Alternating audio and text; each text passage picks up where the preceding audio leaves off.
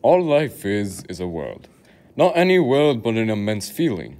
Not something you see and touch, but a place one would happily call to be the very home. This story revolves around six characters